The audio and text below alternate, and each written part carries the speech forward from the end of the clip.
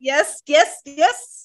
okay, so let's show the kids how to do it, shall we? Yes. When All we right. talk about the big, big energy, yes, as they say, yes, give us a little show of perspective of just how big big is. And let's have everyone listening do your stretches, follow along, and uh, come into the bigness with us. Yes, bring them on in, our friends. Yes.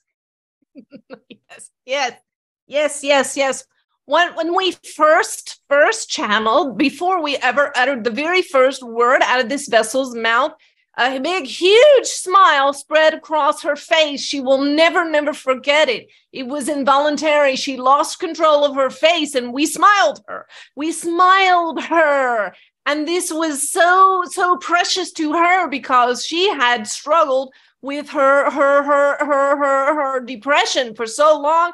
She, it wasn't hers, but she thought it was hers. It was her ego's and and it just simply had tormented her for so many years so to smile was wonderful wonderful gift wonderful gift and see we are coming and beaming out from a place where there is no sadness or mm. anger or distress or disease of any kind we live in a state of perfection the perfection of peace and joy you might think we are just some sort of silly, silly uh, uh, Pollyanna sort of being. We are not. We are full of power. The power, the power that we have is that nothing yucky, negative, painful, or, or, or disorienting sticks to us.